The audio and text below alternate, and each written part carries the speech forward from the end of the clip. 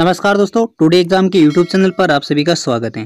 दोस्तों, Rajasthan subordinate and ministerial service selection board यानी R S M S S B के ज़रिए आयोजित होने वाली राजस्थान पटवारी परीक्षा 2019 और फार्मासिस्ट ग्रेड थ्री की परीक्षा सहित विभिन्न परीक्षाओं को लेकर एक नया शेड्यूल जारी कर दिया गया है। R S M S S B के ज़रिए नोटिफिकेशन के मुताबिक राजस्थान पटवारी परीक्षा है जो 2019 में होने वाली थी। वो अब परीक्षा है जो अगले साल यानी 28 फरवरी 2021 को करवाई जाएगी। इस परीक्षा के ज़रिए पटवारी के चार हज़ार चार सौ इक्कीस पदों को भरा जाएगा।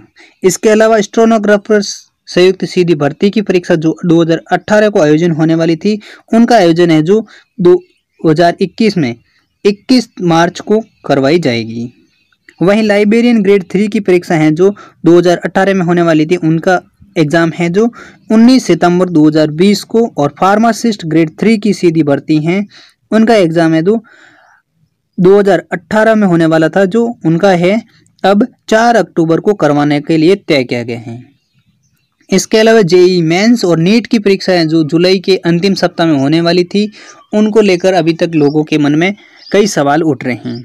लेकिन सरकार की तरफ़ से इन एग्ज़ाम, दोनों एग्जामों को लेकर जेई मेंस और नीट की परीक्षा पर कोई अभी तक नया नोटिफिकेशन या नई कोई अपडेट नहीं आ पाया है। और सरकार की एक मीडिया रिपोर्ट्स के मुताबिक जेई मेंस और नीट की परीक्षा है।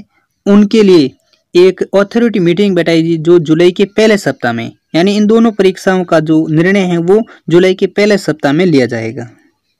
तो दोस्तों, इन दोनों परीक्षाओं के लिए आप भी वेट कर रहे हैं तो हमारे चैनल को सब्सक्राइब कर लीजिए, क्योंकि हम जैसे ही नोटिफिकेशन आएगा, वैसे ही आपको तक हम इसकी जानकारी पहुँचा देंगे।